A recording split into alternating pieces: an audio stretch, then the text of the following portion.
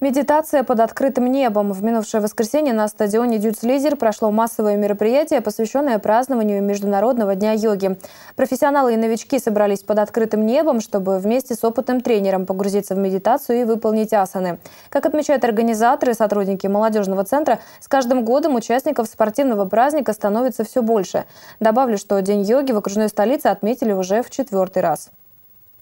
Футбольный стадион сегодня больше похож на яркую палитру красок. На ковровых дорожках расположились йоги. С вниманием слушаются слова наставника и пытаются повторить каждое движение.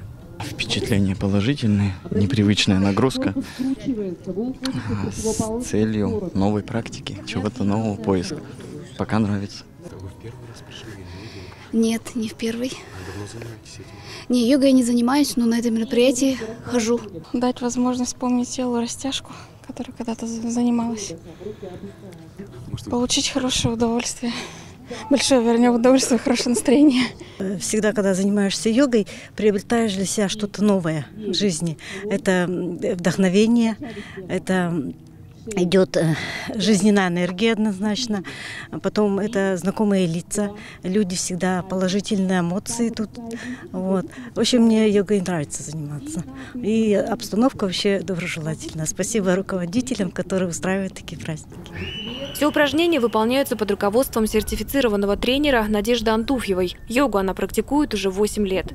А Мое направление, оно э, подразумевает работу с позвоночным столбом в первую очередь. То есть здоровый позвоночный столб, который является основой здоровья. А, соответственно, если мы здоровы, у нас хорошее настроение, а, бодрость духа, энергия неиссякаемая и так далее. Поэтому занимайтесь йогой, приходите, мы всем рады. Как показывает практика прошлых лет, с каждым годом участников массового занятия йогой становится все больше. И в этом огромная заслуга в том числе организаторов, которые активно привлекают жителей округа к массовым мероприятиям, направленным на ведение активного и здорового образа жизни. Когда делаешь мероприятие, хочется видеть э, какой-то отклик на это. И когда люди звонят и спрашивают в начале месяца уже, когда будет мероприятие, то есть уже потихонечку мы их приучили к тому, что мероприятие ежегодно. Ну, это здорово. Были у нас такие примеры, что э, после Дня йоги приходили к нам в центр, фитнес-центр у нас э, лабиринт, да, в, в городе есть. И туда ребята приходили после йоги, то есть они начинали записываться и ходить там уже практиковать постоянно. Вот, ну, то есть каждый возьмет э, свое, кто-то просто проведет приятное воскресенье, утро, почему нет. Вот. А те, кто ребята уже практикуют давно, то, безусловно, это для них еще один день практики.